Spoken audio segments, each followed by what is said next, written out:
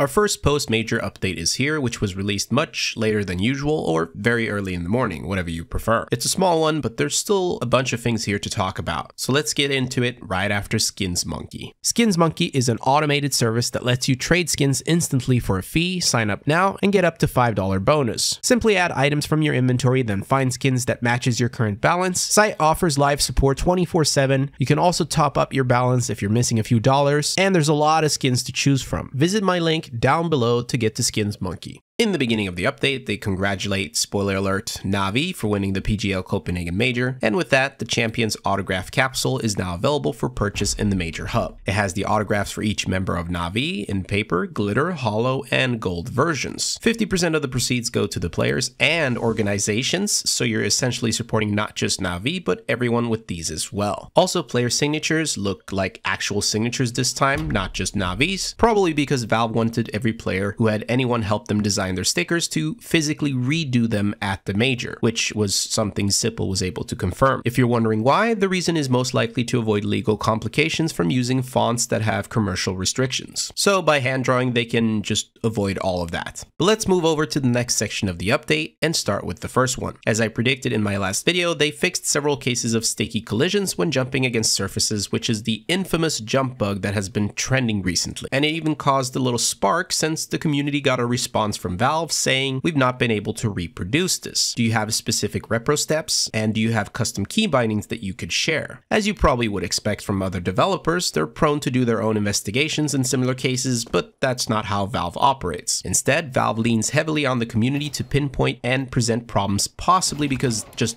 tired of complaints that lack any basis. While you can criticize their approach all you want, the response they give pushed Sardine S to make this post with actual steps on how to reproduce it. So it's most likely thanks to Sardine here that we've got ourselves a fix in the first place. The jump bug seems to almost be completely fixed. Sometimes you do get pushed down, but at least you're not getting stuck anymore. Also, this is a big side bonus. Yes, you can now surf, it is imperfect, but the complete stops are way more rare now, so it seems like a great update outside of just fixing competitive maps. It's also a great example where if you want Valve to fix something, you need to provide reproducible steps. Next up, they fixed, quote, another threading bug that could lead to a frame rate hitch, especially if all CPUs were busy. With this fix, some of you can expect smoother gameplay, and I've already heard from someone who had problems for months that this finally fixed the game for him. However, this isn't meant to be a general performance boost by any means, so don't expect higher FPS after this update. But we probably have Fletcher Dunn to thank for this one specifically. Now we get to the biggest one for this update. Purchased and traded Counter-Strike items will not be visible to other users who view your Steam inventory for 10 days. So when you buy or trade items in CS2, other players can't see these items in your Steam inventory until 10 days have passed. I decided to try it out, so I bought one of the best skins in the game. Then I decided to visit my inventory in incognito, and I can't see my skin. I can at least see my beautiful silver coin. I can, however, display the skin through Steam's item showcase, and that allows it to be seen by others. But Valve never said anything else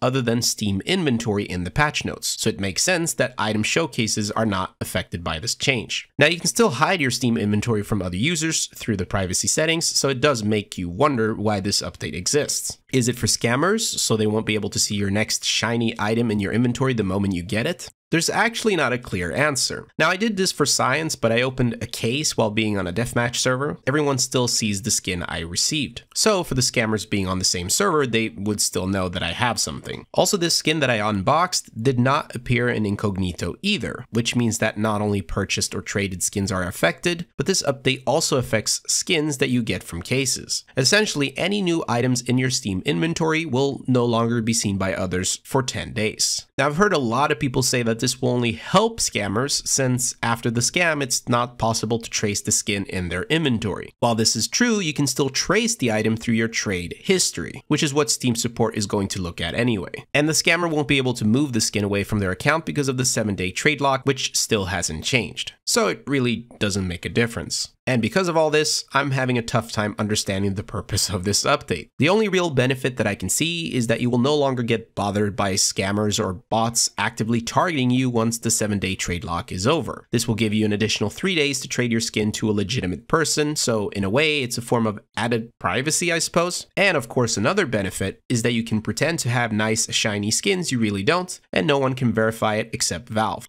But the prank is over after three days, so you gotta be quick. What we do see, however, is that this update is affecting sites that uses Steam's API for trading purposes. Most of the well-known sites are affected, some more than others, but ultimately they are all affected to a certain degree. This update could also be the start of something bigger. We'll just have to wait and see. I would love to know your thoughts on this. Comment down below with what you think, and as always, stay tuned for more videos. I'll see you guys soon. Peace.